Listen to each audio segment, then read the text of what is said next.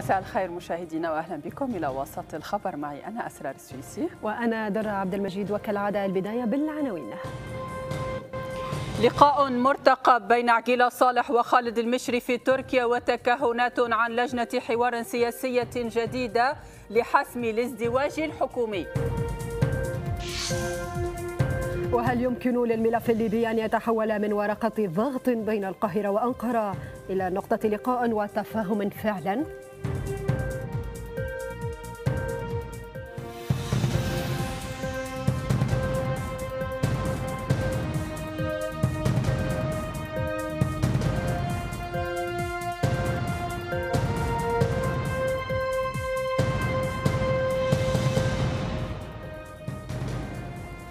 أهلا بكم من جديد إلى وسط الخبر. كشفت واسط ليبيه عدة نقاب عن استعداد لعقد لقاء جديد في تركيا بين رئيس مجلس النواب عقيلة صالح ورئيس المجلس الأعلى للدولة خالد المشري.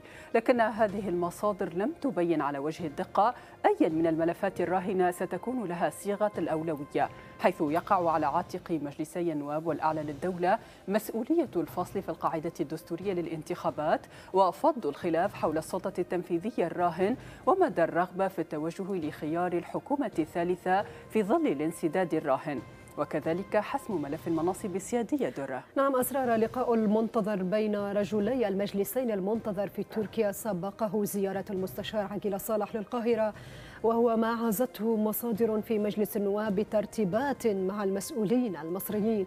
قبيل جولة تركيا الجديدة فيما يتعرض الطرفان لضغوط داخلية وخارجية بعد أن ظهر السيدان عقيلة والمشري في الرباط وتحدثوا عن انفراجة وتفاهمات ووعود بسلطة تنفيذية جديدة قبل بداية العام مع تعهدات أيضا بتسمية المناصب السيادية محل النقاش دون أي وضوح لآليات هذا التوحيد للحكومة ولا تسمية المناصب السيادية.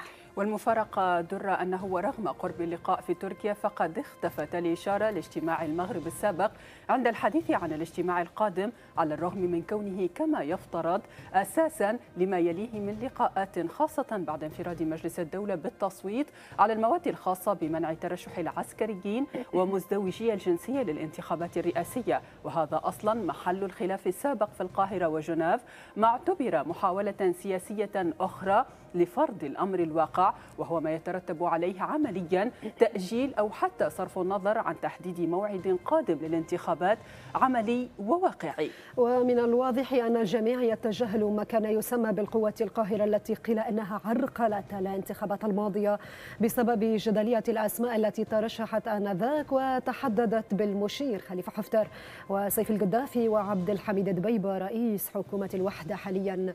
هكذا يكمن كل الخلاف لا في مدى قانونية وشرعية الشروط بقدر مطابقتها أو تعارضها لبعض الأسماء المذكورة بالذات نعم ومن جهة أخرى فإن طرح مسألة الانتخابات أو حتى تغيير المناصب السيادية لا يبدو واقعيا. فمن دون حسم ملف السلطة التنفيذية وتوحيد الحكومة من غير الممكن الوصول لما بعدها من استحقاقات. فلا يمكن حال الاستمرار الازدواج الحكومي أن يلقى أي تغيير في المناصب السيادية صدى للتطبيق. وكذلك فعدم توحيد الحكومة يمنع إقامة الانتخابات بالضرورة وهي أمور لا يجهلها مجلسا النواب والدولة لكنها ذريعة مناسبة لاستمرارهم في المشهد والتعطيل كل ما يمكن أن يؤدي للتغيير. لهذا ربما يصح وفقا لما سبق أن يكون محور اجتماع تركيا البحث في لجنة حوار جديدة لإقرار حكومة واحدة لكن هذا يرتبط أيضا برغبة عقيلة والمشري في الفرار من هاجس الاستبعاد وبحثهم من منصب لكل منهما أو منهما في مجلس رئاسي جديد ليسمح خروجهم بترتيب اجتماعات برلمانية وتأجيل الرئاسية وفقا لطموحات عاجلة والمشري ويقينهم بأن الانتخابات الرئاسية لن تجرى أو مستبعدة حتى وفقا للمقربين منهم. دون نسيان مصادر عدة تحدثت عن طلب تركي من عقيل صالح للعب دور وسيط لتخفيف الموقف المصري تجاه أنقرة بعد إيقاف القاهرة للتواصل مع أنقرة على خلفية الاتفاقية الدفاعية والاقتصادية الأخيرة مع حكومة دبيبة مع جدارة التذكير أن زيارة عقيلة لتركيا ستكون بعد موقفها المتوتر من الاتفاقات المذكورة وهو معتبرا نجاحا يومها لحكومة دبيبة بإبعاد عقيلة عن أردوغان وهو مطلب مهم لدبيبة في المرحلة الراهنة على الأقل درة نعم أسرار وللحديث أكثر حول هذا الموضوع يسعدني أن أرحب بالدبلوماسية الدكتورة صالحة شتيوي. وكذلك الكاتب الصحفي كمال المزوغي والمحامي والباحث السياسي إبراهيم الغرياني. أهلا بكم جميعا ضيوفي الكرام. ودعوني أبدأ مع الدكتورة صالحة. إذا لقاء جديد آه، مرتقب ما بين عقيلة والمشري. يقال أنه سيتم في تركيا. هل تعتقدين بأن اجتماعات الرجلين لم آه، تعد من أجل حل الأزمة؟ آه، بل يقال أنها تتلخص في مساعيهم الشخصية للبحث عن موقع جديد يجنبهم الإقصاء السياسي حال أي متغيرات جديدة. ما رأيك؟ مساء الخير سيدة الفاضلة ومساء الخير لضيوفك الكرام ولكل المشاهدين. آه، اولا حبيت يعني ننوه على نقطة يعني تفضلي. فيها حضرتك. نعم. آه، إن هو طموح شخصي. فعلا هو أصبح السائد في المشهد الحالي في ليبيا. آه، طموح شخصي لكل متصدري المشهد السياسي والعسكري على جميع المستويات. كل يريد أن يحكم. وكل لا يريد أن يتنازل عن منصبه. نعم. فالسيد اتفاق آه، السيد آه، عقيله والمشري يتفقوا عندما تتلاقى مصالحهم يعني فقط. بس إذا كان هم آه، يكونوا في يعني في المشهد يتفقوا. وإذا كان وإذا كان المشهد غير ذلك لصالح الوطن والمواطن دائما نجدهم مختلفين للأسف. فال فال فالاتفاق الأخير اللي صار في المغرب على توحيد المناصب السيادية من أجل انهاء الانقسام السياسي كما يقال آه، يعني آه، اتضح أن في يعني آه، تجاوز عقبات عديدة ولكن من ناحية أخرى نلاحظ يعني اقصاء لشخصيات أخرى. يعني المشهد الآن بدأ منقسم على اثنين السيد عقيله صالح والمشري كونوا فريق إذا صح التعبير مع بعضهم ضد الدبيبه وضد المشير حتى. هذه هي القراءة يعني واضحة. آه، إذا صار من الاتفاق آه، الثاني في في تركيا اذا أعلى سلطة آه، تشريعية في الدولة الليبية شئنا أم أبينا نحن مش راضيين على أدائهم وسوء عاملهم وكذا بس هم في العالم آه، معترف بهم بين قوسين يعني يلعبوا بهم لو صح التعبير يعني إمتى ما يحبوا يقصوا أي طرف يستعملوا هذه الأطراف يعني لو لاحظت الفترة السابقة في آه، في الإعلان عن الانتخابات في شهر ديسمبر الماضي آه، خرجوا علينا بورقة سيف الإسلام طيب. التشويش آه، على على على الحملة على الوضع السياسي برمته وعلى الانتخابات. الآن انقسم المشهد إلى اثنين ما بين المشري وعديلة وما بين الدبيبه والمشير حفتة فسيتم. اقصاء فسيتم اقصاء طرفين يعني اثنين ضد اثنين بالأحرى يعني بالأصح. من أجل الوصول إلى إلى السلطة. الغاية يعني آه، مش إنهاء انقسام ولا نعم. حل مشكلة آه، المشكلة اذا التوافق هو فقط لمصالح شخصية. كما طبعا. تفضلتي. طيب ابقي معي دكتورة صالحة سأذهب إلى السيد كمال المزوغي. من خلال المتابعة دائما ما كانت هناك معارضة لعقيلة والمشري من داخل مجالسهم. في حال أي اتفاق بين الرجلين إلى أي مدى يمكن لهما جذب المجلسين للإقرار هذا التفاهم حاليا خاصة مع وجود حكومة دبيبة في طرابلس وتأثيراتها على المجلسين؟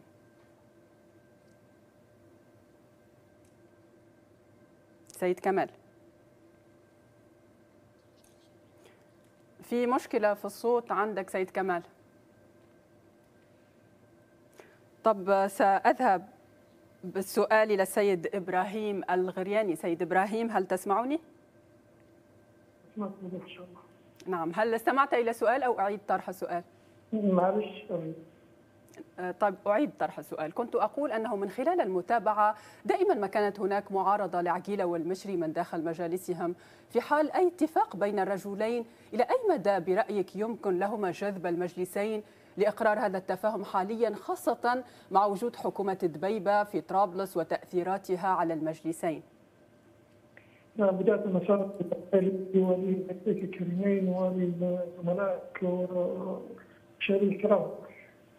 بكل تاكيد ربما اعدائنا دعينا نسأل السؤال بطريقة أخرى، هل ذات أقل تقدير السيد المشري يملك أوراق كثيرة حتى يبرم اتفاقات من هذا الحجم سواء مع السيد عقيل أو مع غيره؟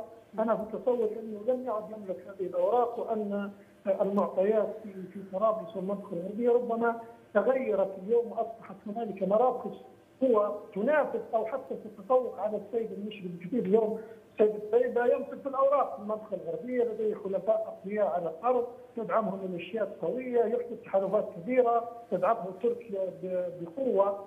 ودعينا هنا نستذكر أن حكومة السيد فتحي بشاغة هي كانت وليدة اتفاق داخلي داخلي بين مجلس الدولة ومجلس النواب وزكي السيد فتحي بشاغة ب 50 عضوا من مجلس الدولة ومع ذلك ومنحت ثقة من مجلس النواب وأجري التعديل الدستوري الأخير بالتوافق ووقت حضر من مجلس الدولة إلى طبرق واجتمع مع اللجنة التشريعية مجلس كل هذه الأحداث حدثت وهي مراحل متقدمة في الاتفاق بين مجلس الدولة والنواب. بالمحصلة نتيجة هذه الاتفاقات لم تنفذ على الأرض. حكومة فتحي بشاغه ظلت ثمانيه أشهر تحاول الدخول إلى طرابلس من من مصراتة وحتى بالقوة المسلحة ولكن وجهت بقوة كبيرة وبتشبث كبير من السيد عبد الحميد الدريبه السيد خالد المشري نكل عن اتفاقه وتراجع عنه ثم أيده ثم التزم الحياد في تصوري أن مثل هذه الاتفاقات لم تعد مجدية لأن الأطراف التي يفترض أن تنفذها غير قادرة على تنفيذها ولم تعد تملك أوراق كثيرة في في هذا المجال. وبالتالي ربما على على جميع الأطراف ان أن تفكر خارج الصندوق وأن تبعد عن حلول أخرى إذا كان هنالك جدية لتحقيق الاستقرار في ليبيا ولا أعتقد أن هذه الجدية على أقل تقدير من الجانب الموجود في جانب خالد المشري متوفرة حتى هذه اللحظة.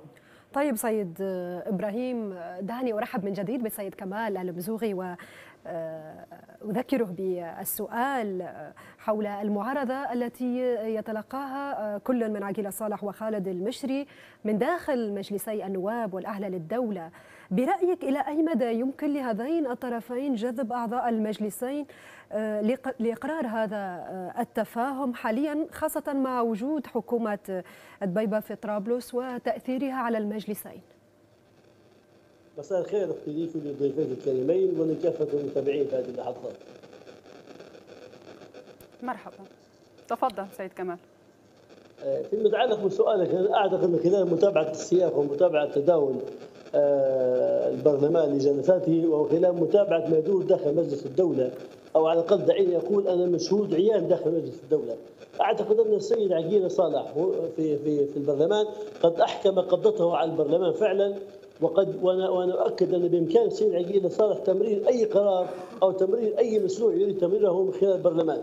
لا أعتقد بوجود معارضة حتى صوت المعارضة في البرلمان أصبح صوت خافت جدا وبالتالي هناك سيطرة كبيرة جدا للسيد عقيل صالح وبعض الأطراف المناوية أو الأطراف المؤيدة له داخل البرلمان وأصبحت اليد الطولة التي بإمكانها أن تفرض كل شيء كل شيء داخل البرلمان. أما فيما يتعلق بمجلس الدولة اولا المتغيرات الموجودة على الأرض الليبية في المنطقة الغربية لتشعب أو لتعدد القوى التي تتحكم في المجلس السياسي والأمني في المنطقة الغربية. هذا ألقى بدلالة على داخل أعضاء مجلس الاعلى الدولة فأعتقد أن السيد خالد المشري لا يستطيع أن ينفذ بقرار بنفسه مهما كانت اتفاقياته. وكما أسلف ضيفنا الكريم الأستاذ إبراهيم عندما عندما أيد السيد خالد المشري حكومة فتحي بشاغه في البداية وقدم لها مهد لها وقدم لها التزكيات وكان مؤيدا لها بقوة ثم ما عاد وانقلب على الموضوع بالكامل لأنه وجد معارضة كبيرة داخل مجلس الاعلى الدولة. وبالتالي أعتقد أن السيد خالد المشري سيعاني صعوبة كبيرة في تمرير ما يراه داخل مجلس الدولة دون إقناع الكتل الكبيرة أو المتنفذة داخل مجلس الاعلى الدولة. طيب سيد كمال يبدو أننا في حالة انسداد طويلة المدى هنا سأذهب إلى الدكتورة صالحة شتيوي دكتورة صالحة وسط هذا الانسداد السياسي هناك حالة من عدم اليقين حول المشهد السياسي ألا يؤدي ذلك بالفعل لفقدان الثقة بحيث ربما يصعب الوصول للتسوية المطلوبة وفقا لحالة الاستنفار الشاملة بين الفرقاء؟ هو واضح أن الانسداد يعني منذ البداية يعني منذ عدم تسليم السلطة من قبل السيد بيبة إلى السيد باشاغا من هنا بدأنا نرجع لنفس الإشكالية يعني الأولى منذ 2014 باعتراف طرف ضد طرف وشرعية طرف ضد شرعية الآخر وتكررت نفس نفس السلسلة في 2016 مع حكومة السراج وهكذا بليبيا للأسف فقط من يعني مشتتة من أبنائها نفسها. عدم يعني عدم التفاهم على الملف الليبي على المستوى الأقليمي. فمن الداخل مشتتين الليبيين عن طريق من يصل إلى سده الحكم. وداخليا صار يعني تفاوت المصالح بين بين الدول في الملف الملف الليبي فنحتاج امتداد حقيقي فعلا وتبني الدرجه الاولى يعني. هذا ما نشهد فيه اليوم في الحكومة جاية تريد الآخر. وكل من يصل إلى سده الحكم سواء في برلمان أو في مجلس أعلى أو في أي هيئة عليا للدولة لا يريد الخروج من المشهد. يعني الأمر أصبح لا يريد الخروج يعني هكذا. يا أما يا أما يا أما يكون دور أما تصير مشاكل ثانية ونحن على ابواب لا قدر الله إن شاء الله تكون يعني خاطئة بهذا التقدير يعني على يعني على أبواب حرب لا لا مش عارفين حتى نوقفها للأسف يعني.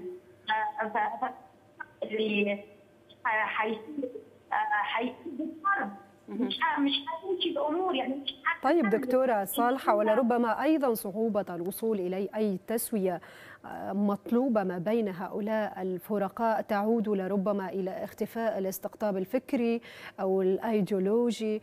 اليوم لم نعد نسمع كثيرا عن تهم للإسلاميين وأصبحت تهم سياسية.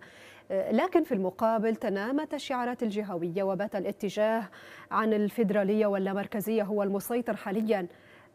سيد إبراهيم حسب رأيك ما تأثير ذلك على أي مبادرة لتوحيد السلطة في ليبيا؟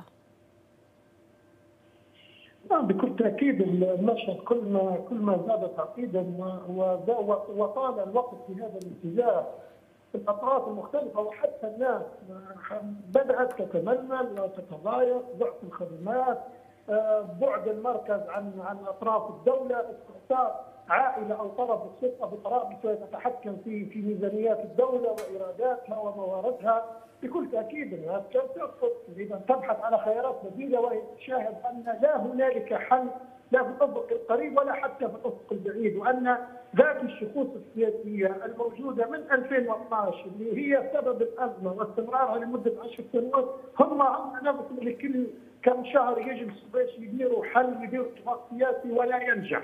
وبالتالي هنالك ادراك سواء عند النخب حتى عند الناس العاديين بالكامل أن هذه الأطراف السياسية هذه الشخوص لا يمكنها أن تنتشر، لماذا؟ لأن الإجابة بوضوح أنها لا تملك إرادتها ولا تملك قرار سياسي أو سيادي، أصبحت مرتهنة لأطراف خارجية، هذه الأطراف الخارجية لديها مصالح متعارضة مع بعضها البعض، دول إقليمية وبالتالي هذا التعارض سيؤثر على هؤلاء الشخوص الذين لا يملكون إرادتهم، إذا علينا أن نفكر بطريقة أخرى أن نترك هذه الجلسات وهذه المفاوضات العقيمة التي لن تنتج لنا شيء، بالتالي ستظهر لنا حلول أخرى كان فدراليه وفكرة تقسيم الموارد وفكرة فكرة الاقاليم كل هذا كنتاج في عدم وجود إلى اتفاق. إذا لحد أمتى الناس تبي تستنى؟ لحد أمتى الأطراف تبي تستنى؟ لحد أمتى المدن تبي تستنى لحد إمتى الاقاليم تبي تستنى. عشر سنوات أعتقد أنها كافية جدا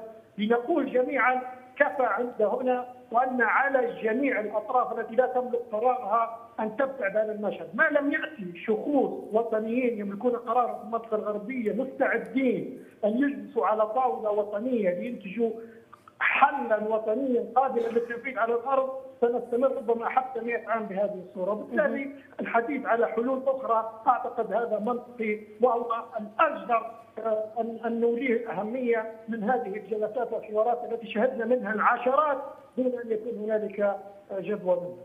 طب دكتور إبراهيم وأنت كنت تتحدث عن حلول أخرى بعيدة عن الحوارات ولكن آه، سأتحدث هنا عن لجنة حوار جديدة يتحدثون عنها يتحدث عنها الكثير وكذلك يتجنب الكثير الحديث عنها. سأذهب هنا إلى الدكتور صالحة شتيوي وكذلك سؤال موجه إلى سيد كمال وإليك أيضا سيد إبراهيم. كنت أقول أنه رغم تجنب الكثيرين الحديث عن لجنة حوار جديدة لكن يبدو للكثيرين أيضا أنها الحل الممكن الوحيد ربما للخروج من الأزمة هل توافق على كون لجنة الحوار الجديدة هي المخرج الوحيد الممكن؟ دكتور صالحة أيوة نعم هل كنت تستمعين إلى السؤال؟ نعم نعم نعم, نعم. آه هو شوفي الأم نحن ما زلنا آه في إطار الأمم المتحدة واقتراحها دائما آه، آه، للأزمة الليبية يعني آه، بالحلول يعني بالحلول تلفيقيه يعني للأسف. أنا لم أكن راضية يوما على على أداء بعثه الدعم الأمم المتحدة في ليبيا.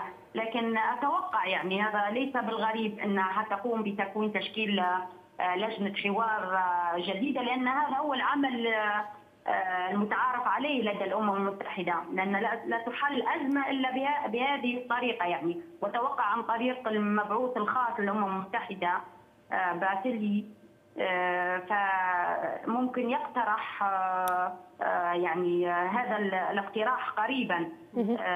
لا ولكن المشكلة يعني المعضلة مش مش هنا. يعني استقر في وجهات النظر شفناها يعني منذ يعني سنوات آه، فاتت وما وصلناش إلى يعني طريق مفتوح للأسف. كل ما لها إلى الانسداد ونرجع إلى نفس إلى نفس النقطة. إذا إذا كان الإرادة ما فيش إرادة ليبية داخلية من الداخل آه، تحل هذا الوضع مستحيل أي آه، أي إطار ثاني سواء عن طريق الأمم المتحدة أو الاتحاد الأوروبي أو أي مسمى أو كيان آخر يقدر يحلها. نحن مشكلتنا أصبحت في اللي يتصدر في المشهد وما يبيش يتنازل على على المكان نتاعه أو على الصفة نتاعه أو على أي شيء يعني يملكه فأتوقع يعني القادم أنا لا أريد أن أكون متشائمة لكن بصراحة مخيف على طيب جميع المستويات.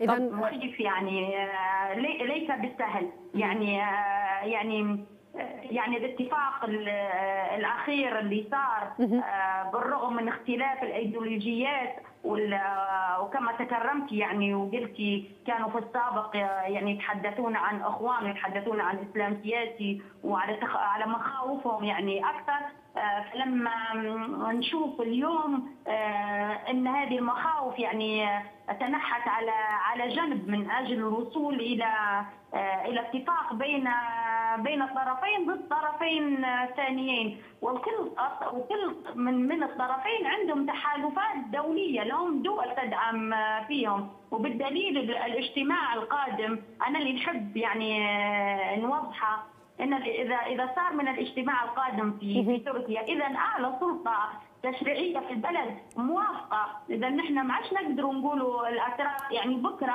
أو بعد بكرة نلقوا الأتراك جايين و, و... و... واضح سيد دكتورة صالحة. سنعود إلى نقطة تركيا في في موعد أو في سؤال قادم. ودعيني أتوجه بسؤال إلى سيد كمال المزوغي حول نفس المسألة مسألة تشكيل لجنة الحوار الجديدة. سيد كمال هناك من يعتبر أن هذه اللجنة هي حل مرضي قد ينهي الانقسام التنفيذي وهناك أيضا من وصفها بالمشكلة الجديدة التي قد توسع الانقسام. من وجهة نظرك هل هي حل أم أنها مشكلة جديدة؟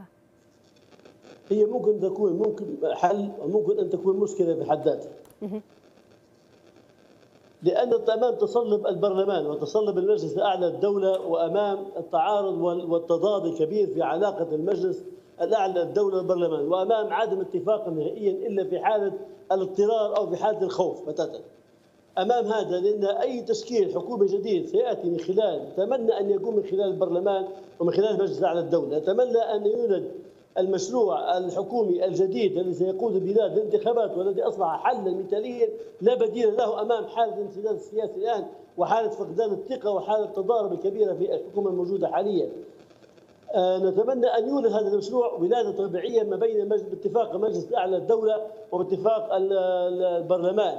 حتى وإن كانت نشكك في عدم شرعيتهم الاثنين ونشكك في نواياهم ولكن نتمنى هكذا على الأقل أن تولد هذه الحكومة ولادة طبيعية منظمة حتى تكتسب آه، ثقة الشعب وتحوز على ثقة كل الأطراف السياسية. ولكن للعقليات المتحجرة والمتشبثه في كل الأطراف السياسية الموجوده في ليبيا الآن أي حكومة جديدة ستحصل على ابتزاز قبلي مقيت ومتعفن سيؤدي بولادة الحكومة ولادة مشوهة مثل ما حدث مع حكومة فتحي بشاغة بالضبط يعني. فهنا ممكن نجنح أن يكون الحوار لجنه الحوار حل بديل.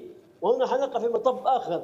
من سيختار لجنه الحوار؟ لابد لجنه الحوار ستكون ممثلة للبرلمان والمجلس الأعلى للدولة والأطراف أخرى سياسية يا إما يختارها هذان الجسمان أو تختار الأمم المتحدة وبالتالي سنجد أن جزءا كبيرا من الثقافة والمشكلة التي كانت موجودة في البرلمان والأعلى للدولة انتقلت لجنه الحوار ولكن تظل دائما أقل حدية وأقل ابتزاز وأقل آه، قبلية وأقل تعصب وأقل انحراف من من تداول الموضوع بشكل منحرف بين البرلمان والمجلس الأعلى للدولة، وبالتالي أنا أقول أن لجنة الحوار التي يمكن أن تختار الآن وتشكل حكومة من خلالها هي ما نبيش نمثل لجنة الحوار السابقة لجنة 75 وما شابه من لغط وما ظهر عنها من معلومات حقيقة سيئة جدا أدت بانحراف الموضوع لهذا الشكل ولكن ربما تكون حل لسبب تصلب أو عدم اتفاق البرلمان والمجلس نعم. الاعلى للدوله. طب لنفتح المجال للسيد إبراهيم الغرياني، ما رأيك سيد إبراهيم؟ هل يمكن للجنة حوار جديدة أن تنهي حالة الانقسام؟ في تصوري أي لجنة حوار إذا بوجود المعطيات الموجودة حاليا لم تقدم شيء يعني نحن جديد يعني كانت هنالك لجنة حوار الخيرات اللي كانت كبيرة جدا كان اتفاق الخيرات اللي تولت عنها آه، حكومة سيد السراج ثم حكومة سيد السراج استأثرت السلطة وأقصت بقية الأطراف ثم حدثت اتفاقات أخرى في في بوزنيقة اتفاقات في المغرب ثم اتفاق جنيف الذي تولدت عنه حكومة السيد البيضة وأيضا نكل بوعوده وتجاوزت مدته ستة أشهر كان متفق عليها وكان عنصر أساسي في عدم حدوث انتخابات 24 ديسمبر العام الماضي هذه هي اللجان التي يتحدثون عنها، يعني اللجنه الجديده ماذا ستنتج لنا؟ هل ستنتج لنا حكومة جديدة؟ هذه الحكومة الجديدة كيف ستمكن من طرابلس؟ سيقبل بدخولها البيت أم لا؟ هذه الحكومة الجديده اللي هي تفترض أيضا أنها ستكون من جميع الأطراف، هل هي قادرة على تهيئة اجواء الانتخابات؟ هل قادرة على أن تغير المعطيات؟ يعني حكومه ستأتي في ظل ذات المعطيات، وجود مجموعات مسلحة وميليشيات تسيطر على طرابلس ومركزي يسيطر عليه الصديق الكبير وكم الإيرادات ووجود قوات تركيه في طرابلس وجود أطراف أخرى ستاثر سلب على الانتخابات. هذه الأسئلة التي يجب أن تعاد ذكرها ليست في انتاج حكومة أخرى فكرة في المعطيات. هل يمكن أن نغيرها على الأرض أم لا؟ إذا لم نغير المعطيات علينا ألا نتحدث أن هناك حلول يعني عبارة عن مع احترامي للكلمة. يكون بأشبه بترقيع لثوب يعني في أكثر من 70 رقعة وسنتحدث عنه انه صالح للاستعمال ولي ولي ولي آه أن نكسو به هذا هذا هذا الجسم. يعني وعلينا أن نبحث على ثوب جديد لم يعد فيه ترقيعات. يعني تخيلي لما لما لما مجلس النواب ومجلس الدولة يجتمعون للتوافق والحوار منذ سبع سنوات، تخيلي أن اجتماعات منذ الخيرات من عام 2015 وهم يجلسون ويتفقون على إنتاج حلول لاستقرار ليبيا. بعد سبع سنوات لم ينجحوا حتى الآن. فكيف لنا أن نتبع ذات الطرق ونتوقع بذات الشخوص وبذات الآليات ونتوقع نتائج مختلفة؟ يعني مسألة لا يمكن أن نتصورها ولا أن نتخيلها. أعتقد أنه عبث وعبث وعبث وعلينا أن نبحث على خيارات بديلة. لا أعلم ما هذه الخيارات ولكن يجب أن يكون هنالك نظرة أبعد من هؤلاء الشخوص وأبعد نعم سيد إبراهيم. اجتماعات التي ربما تنتهي خاصة أن البعثة بعد ثمان مبعوثين إلى ليبيا. أعتقد أنها أصبحت جزءا من المشكلة ليست جزء من حل يعني زيها زي مجلس النواب مجلس الدولة. لما نذكر البعثه حطيهم في نفس القائمة أو في نفس الألبوم أو في نفس الصف اللي في مجلس النواب والدولة. نعم سيد إبراهيم رغم اهميه هذه التفاهمات من وجهة أو من الناحية النظرية خاصة في ظل صعوبة وإن لم نقل استحالة إجراء الانتخابات التي قد يقبل بها الجميع في ظل انقسام البلاد بين حكومتين أنت تعتبر أن تشكيل هذه أو إمكانية تشكيل هذه اللجنة الجديدة يعني العودة إلى مربع صفر من جديد والدخول في مرحلة انتقالية جديدة ستطول ومن الممكن أن تستغرق سنوات وسنوات. دكتورة صالحة فلأعود بك إلى نقطة تركيا. إذا كان موقف تركيا واضح كيف يمكن أن نفهم موقف الإمارات حاليا؟ هل بالفعل قد سجلت إبعادها فعليا عن ليبيا مقارنة بتوجهها السابق؟ يا عزيزتي ما فيش أي دولة تباعدت على الشأن الليبي. كلهم لديهم مصالح متداخلة سواء كانت الإمارات أو مصر أو تركيا أو فرنسا أو أمريكا. أسمي ما شئت من الدول المتداخلة يعني مصالحها في في الأزمة الليبية. كلهم لديهم مصالح وكل يعني وكل اللي يحدث من عدم الاتفاقات داخل ليبيا بين الليبيين نفسهم سببها هذا التبعثر أو التشرذم في الملف الليبي. على المستوى الإقليمي، المستوى الإقليمي في يعني الدول الإقليمية المتداخلة في الملف الليبي هي من تشتت أساسا في في هذه الاتفاقات، وكما ذكر السيد الكريم فعلا نحن من 2015 وقاعدين في حوارات وما طلعناش يعني بنتيجة. ولو يعني ولو نرجع لنفس الكلام إنه هو مشكلتنا كانت في المادة الثامنة. وهي اقصاء العسكريين و و و و والقصص هذه كلها نحن رجعنا لها هي نفسها. يعني السيد عقيلة صالح والسيد المشري عادوا بنا آه يعني من حيث ذهبوا إلى الصخيرات من من تلك الفترة يعني. آه فأنا اللي نتوقع آه حيكون الدور الكبير جدا للمغرب الشقيق. وسيكون دور للولايات المتحدة كبير جدا حتى هو في حل الأزمة الليبية. لا نعلم كيف لكن لكن لهذين الدولتين حيكون هم المسيطر الفعلي. على للأسف يعني نقولوها بكل مرارة إن أصبح ملف الأزمة الليبية يمشوا به بين بين الدول يعني فالصراع الآن اللي حاصل بين بين الدول الكبرى يعني المسيطر الأساسي أصبحت أمريكا على الملف الليبي. نعم دكتور صالحة ونحن نتحدث عن الدور الإقليمي والدول الكبرى. سأذهب إلى السيد كمال المزغي الكثير يرى في ليبيا ورقة ضغط من دول إقليمية مثل تركيا ومصر لحل إشكالات بينية خاصة بهم من وجهة نظر معاكسة وبالإشارة لدور تم الحديث عنه لعقيلة صالح في التوسط بين القاهرة وأنقرة. هل يمكن أن تكون ليبيا نقطة لقاء بدلا من ورقة ضغط بالفعل؟ قبل الإجابة على سؤالك أود أن أشير لنقطة مهمة ويثيرها الكثير من الضيوف مع احترامي لكل الآراء. بسرعة هناك الكثير من الضيوف نعم هناك الكثير من الضيوف كانوا يرددون يؤكدون أنه لا حل في ظل المعطيات. نعم نحن نتفق مع الجميع في هذه المخاوف. أنه في ظل سواد أو وجود كافة المعطيات السابقة التي أجهضت كل المحاولات السياسية للحل السابق ربما تكون الحلول الجديدة نفس المجال نفس الطريق وسنعاني من ذات الفشل ومن ذات الانكسار ومن ذات التردي. ولكن ما الحل يا سادة؟ أن نبقى هكذا؟ نتمنى إزالة القوى القاهرة الموجودة في ليبيا الآن سواء كانت تدخل خارجي أو السلاح الفارط المارق أو المرتزقة أو أو أو أو أو. هذه تحتاج لمعجزات كبيرة وتحتاج لحكومة مستقرة وتحتاج لدولة متصالحة مع ذاتها حتى بإمكانها أن تعالج هذه القضايا اللي أصبحت جزء صميم من الحاله الليبية. وبالتالي لا أعتقد بتاتا أن هناك مفر أمام الليبيين من مجرد تجريب مرة أخرى ومحاولة مرة أخرى لو أننا نتمكن أو البعثه الامميه تتمكن من تحقيق الانتخابات بشكل كبير. والآن نحن نشد على ايدي الجميع ونحن مع انتخابات ولو كانت حتى بالدم حقيقة. لأن لا يمكن لنا الحرية هكذا ببساطة.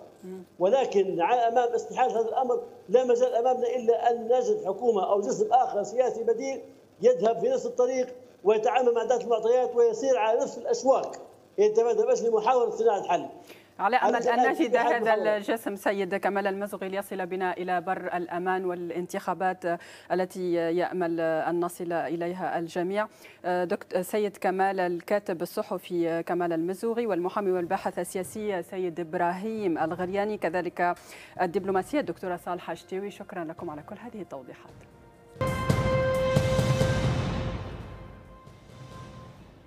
والآن فلنلقي نظرة سريعة على تناول بوابة الوسط لأهم المواضيع خلال ال 24 ساعة الأخيرة.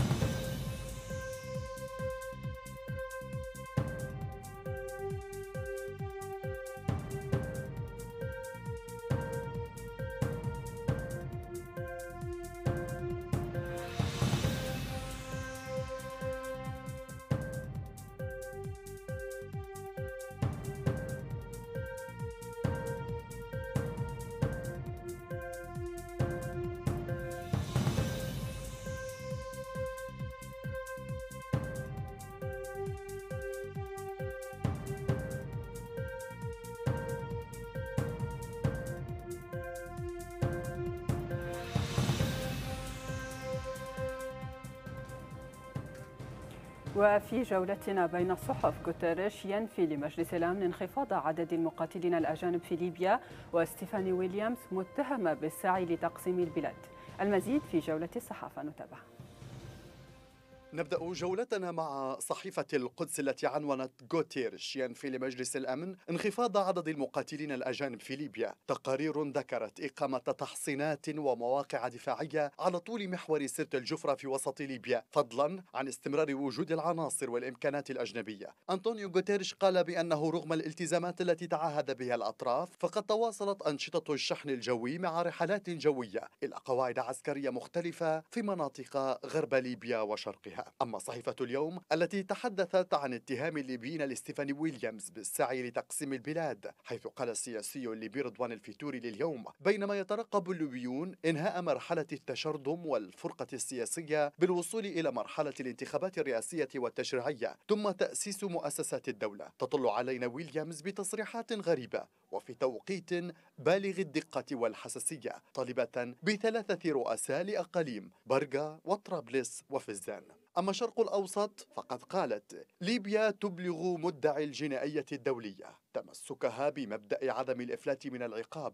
هو عنوان صحيفة الشرق الأوسط وذلك بعد قرار عبد الحميد دبيبة رئيس حكومة الوحدة الوطنية المؤقتة تعيين عماد الطرابلسي أحد أبرز قادة التشكيلات المسلحة بمهام وزير الداخلية. وقالت وزارة العدل في بيانها إن الوزير أبدت اهتماما بتحقيق العدالة وتعزيز سيادة القانون والتأكيد على مبدأ عدم الإفلات من العقاب مع ولاية القضاء الليبي العرب الجديد بدورها ركزت على محاكمة المشير خليفة حفتر. حيث أكد رئيس مؤسسة الديمقراطية وحقوق الإنسان في ليبيا عماد الدين المنتصر أن حفتر خضع الأحد للاستجواب أمام محامي أسر الضحايا المترافعة ضده في محكمة فيرجينيا الأمريكية. ولفت المنتصر إلى أن حفتر المدان بجرائم الحرب والتعذيب من قبل المحكمة الفيدرالية بولاية فيرجينيا الأمريكية. خضع للاستجواب بعد قرار سابق لمحكمة فيرجينيا هددته فيه بجعل إدانته إدانة نهائية إذ لم يتجاوب مع التحقيق أو ارتكب أي مخالفات أو قام بمماطلة أو حتى تأخير.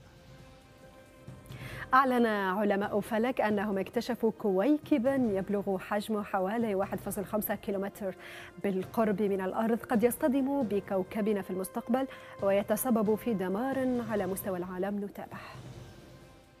سكان الأرض على موعد مع خطر مدمر. كويكب يدعى EP7 2022 يبلغ حجمه حوالي 1.5 كيلومتر. قد يصطدم بكوكبنا في المستقبل ويتسبب في دمار على مستوى العالم. ومن شأن الغبار الذي سيصب في الغلاف الجوي في هذه الحالة أن يحجب ضوء الشمس ويبرد الكوكب ويسبب انقراضا جماعيا للأجناس. هذا ما أعلن عنه مجموعة من علماء الفلك في معهد كارينجي للعلوم وأكدوا أن هذا الكويكب هو أكبر جسم ذي خطر محتمل على الأرض تم اكتشافه في السنوات الثمان الماضية. وفي الحقيقة فإن معظم الكويكبات بهذا الحجم مكتشفة أصلا وفق العلماء لكن هذا الكويكب كان حتى الآن مختبئا في وهج الشمس ما صعب بشدة اكتشافه. العلماء بعثوا برسالة طمأنة لأن هذا الكويكب القريب من الأرض سيستغرق خمس سنوات للدوران حول الشمس وهو الآن على بعد ملايين الكيلومترات من الأرض في أقرب نقطة له وهو ما يعني أن الخطر لا يزال بعيدا. يبدو أن هذا الحل الذي سينهي جميع الخلافات درة. ربما. لا إجابات ولا تعليق. وقبل ختام جولتنا في وسط الخبر لليوم نذكركم بالعناوين. لقاء مرتقب بين عقيلة صالح وخالد المشري في تركيا وتكهنات عن لجنة حوار سياسية جديدة لحسم الازدواج الحكومي. وهل يمكن للملف الليبي أن يتحول من ورقة ضغط بين القاهرة وأنقرة إلى نقطة لقاء وتفاهم فعلا؟ في الختام يمكنكم زيارة موقعنا الوسط دوت دمتم في أمان الله. إلى اللقاء.